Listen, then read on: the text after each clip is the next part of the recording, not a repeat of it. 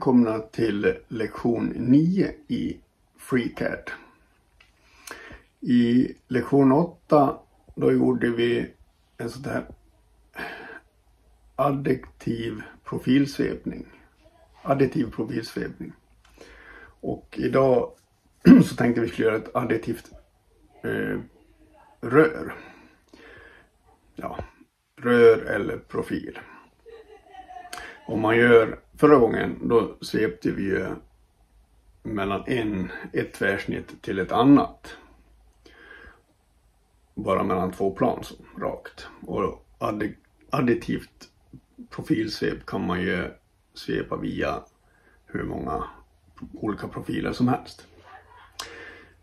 Additivt rör, där sveper man en profil men man sveper den längs en kurva. Så det är det vi ska göra idag. I dagens lektion 9 så kommer jag utgå från lektion 7 igen. Så vi öppnar den. Och eh, vi kan tända vi kan tända alla plan. Så. Och så tänkte jag vi ska börja med att rita kurvan som vi ska svepa en profil längs. Vi ska göra en sån här additivt rör heter det. Eh, svep en vald skiss längs en bana eller till andra profiler. Så vi ska svepa en, en profil då tänkte jag eh, längs en kurva.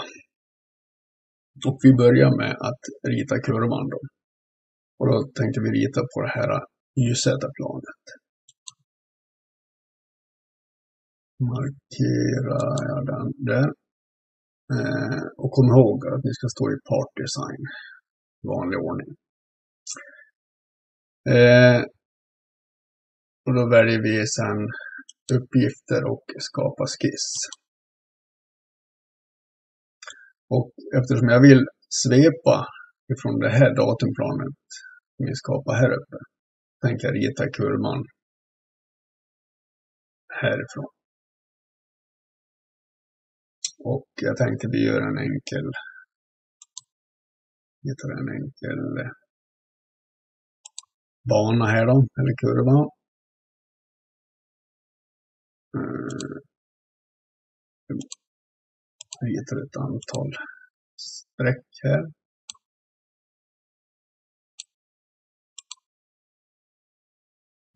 Gör den inte här alltför komplicerad tänkte jag. Sådär tänkte jag. Och sen använder vi det här verktyget skapa avrundning. Då avrundar vi alla här på en snygg, fin kurva. Nu ska vi måttsätta den här. Och för enkelhetens skull så tänker jag att vi gör alla de här raderna lika.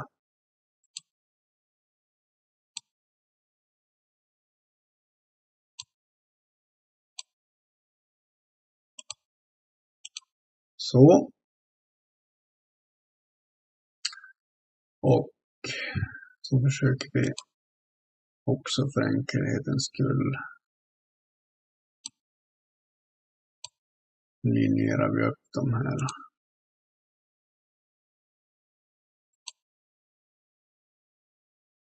Eh, och så sätter vi lite mått. Vi sätter mått på den där radien där. Jag sätter 30. Och eh, nu ska vi ha mått då. Tar vi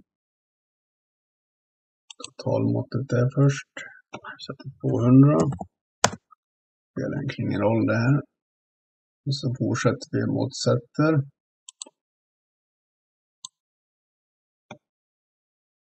Vi sätter lite jämna mått.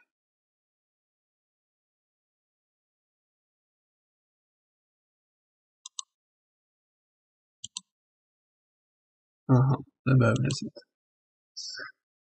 Eh, tar vi den.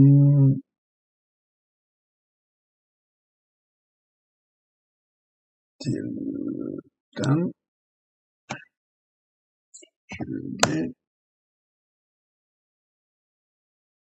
Och eh, därifrån till dit. Det är också 20.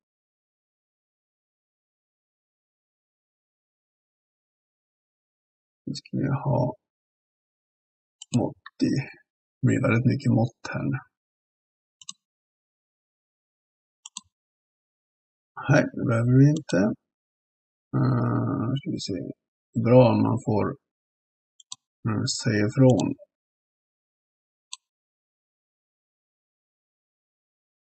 Där lär vi väl ha ett mått i alla fall. Nu tar vi 50.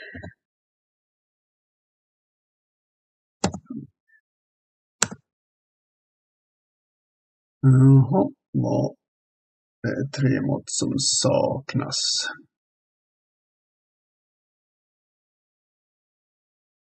Där har vi ingen mått.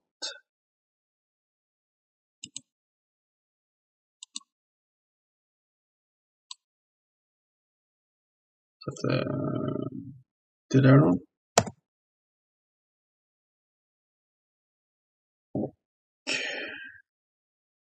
Saknas två mått.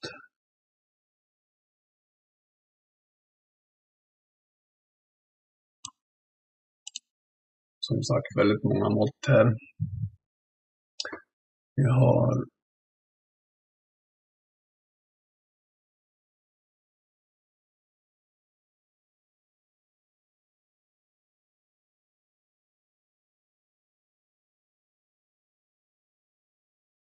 Det är svårt att se här, men det är en radien. Här har vi en rak sträcka.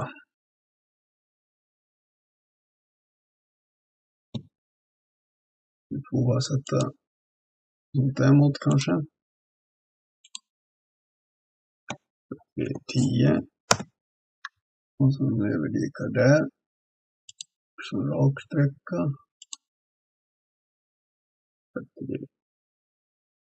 20. Så, nu har vi hela kurvan motsatt.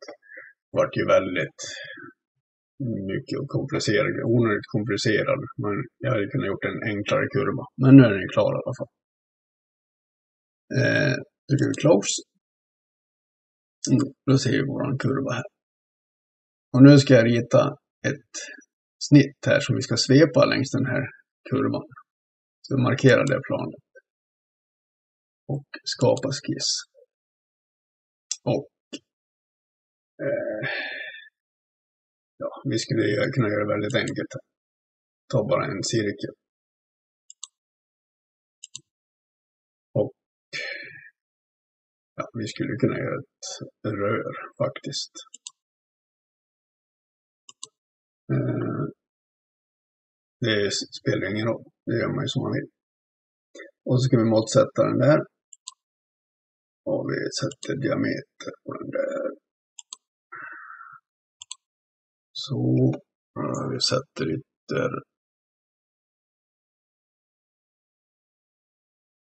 30.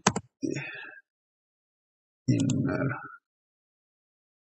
Vi sätter 10 och så sätter vi ytter ändrar vi till 20.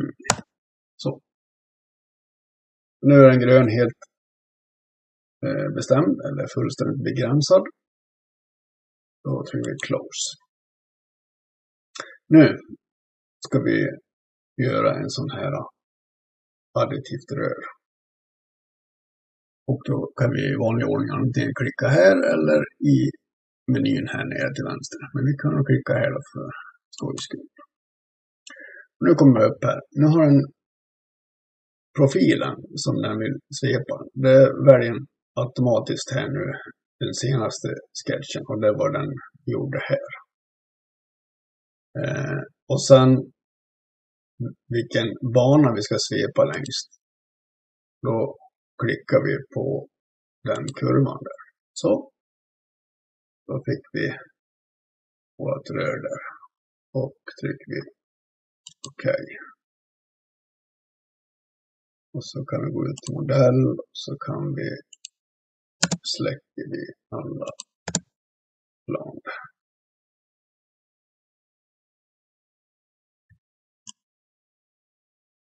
Då har vi fått i det här fallet ett tjockväggigt rör som vi har svept längs en kurva. Och som sagt, man kan, det behöver inte vara ett rör, det kan ju vara vad som helst. Och kan vara vilken form som helst på, på den där profilen. Men för att snabbt rita upp ett exempel där så tog jag runt tvärsnitt. Ja, det var allt för den här gången då. Och nästa gång så tror jag vi ska rita sånt här skal. Eller tjocklek som det heter här i FreeCAD. Ja, det där var lektion 9 det. Additivt rör. Eller additiv profil skulle jag vilja säga. I alla fall där man sveper någon form av sektion längs en kurva. Och den där kurvan kan ju se ut hur som helst i princip. Och nästa gång, i lektion 10, då ska vi göra ett sånt här skal. Eller tjocklek som det heter i FreeCAD. Eh, men därefter så tror jag faktiskt att nu har vi gått igenom de flesta funktioner eller de mest användbara funktionerna. Det finns ju massor kvar va? men jag tror att vi har kommit så pass långt nu att vi skulle kunna göra någon gemensam eh, modell på någonting som jag sedan skriver ut. Så fundera gärna på vad ni skulle vilja att vi ritar tillsammans och lämna förslag. Skriv gärna förslag på vad vi ska rita i eh, kommentaren till den här filmen. Och så får ni ha det fantastiskt bra och så hoppas jag att vi ses i nästa lektion. Hej då!